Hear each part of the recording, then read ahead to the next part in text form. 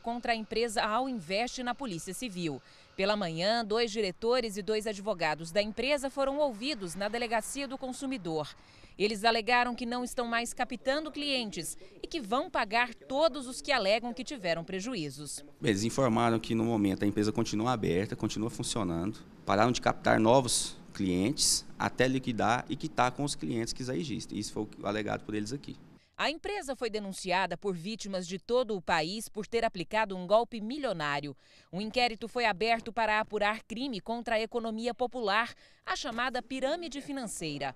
Um esquema comercial que depende do recrutamento de pessoas e que é previsivelmente insustentável. A pessoa que vai aplicar esse tipo de golpe, ele não possui um patrimônio, não, não trabalha com determinado, em determinado ramo, com um determinado produto ele não tem liquidez, não, tem, não oferece garantia. Né? Então, esses primeiros são pagos com dinheiro dos, dos subsequentes e assim por diante. Quando, para, quando cessa esse investimento, quem está mais atrás ali, justamente esse é o formato, por isso chama pirâmide, formato da pirâmide. Quem está no topo recebe, que são os primeiros 500. Quem continua, que está que tá abaixo, não recebe seu dinheiro. Nesse vídeo, um homem explica como era feita a consultoria. Decidiu abrir um negócio e precisa de ajuda? Deixa que a gente resolve e te entrega tudo prontinho. O negócio era atrativo. Nós acompanhamos o seu negócio no período mínimo de seis meses, garantindo um crescimento de até 15%.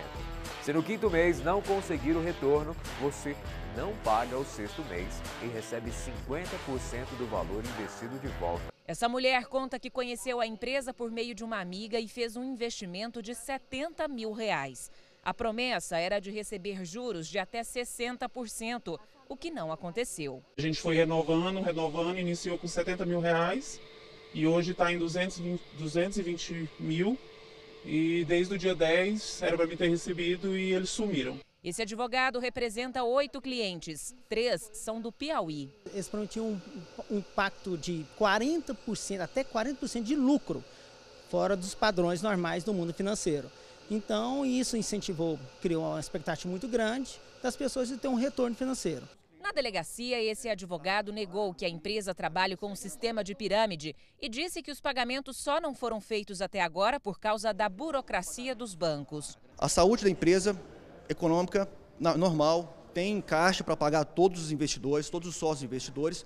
Tá? É questão mesmo que houve uma, um excesso burocrático. Tá? Quem é empresário sabe esse tipo de problema que passa no Brasil, mas já está sendo resolvido, o corpo jurídico está aí para resolver isso. Ainda de acordo com ele, dos 4 mil clientes que a empresa tem, apenas 800 não receberam os valores devidos. Segunda-feira agora já começa a aumentar o limite diário de pagamento, já vem feito esse, esses pagamentos é, de maneira proporcional aos clientes. E segunda-feira aumenta o limite e em 20 dias úteis todos os clientes já estão quitados. A empresa, que já atuava no ramo financeiro, foi comprada no ano passado por ex-funcionários. Se os valores que ultrapassam um milhão de reais forem pagos como foi prometido, a suspeita de pirâmide financeira deixa de existir. O delegado acredita que nos próximos dias mais vítimas devem procurar a Polícia Civil. Essas pessoas que investiram e o prazo de para quitação do investimento já foi ultrapassada, é importante que procure a delegacia e passe informações de como se deu a, a relação contratual para que a gente possa ter mais elementos na investigação.